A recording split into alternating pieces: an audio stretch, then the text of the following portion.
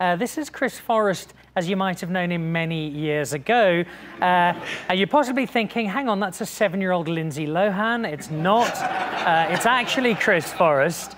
Uh, and from being a, a, little mischievous kid yourself, Chris, as the smile suggests, uh, now much like me, a fairly recent father. Yes, yeah, and proof that I used to be thin. Um, but yeah, I've, I've, become a dad. It's it's awesome. It's a it's a complete change in everything. Uh, being a father is certainly not short of material to provide you with uh, from a comedy perspective. No, no, because there's a lot that you go through. Just, uh, just I mean, I know it's probably harder for the ladies, but uh, dealing with a pregnant woman's not the easiest thing in the world. Um, I mean, you're lovely, all of you. But sometimes it can be a bit tough. And then just all the, the usual things that you have to go through. Like you've recently been through it, the sleepless nights and the, the screaming, the crying, the tantrums. And then you have to look after the baby as well.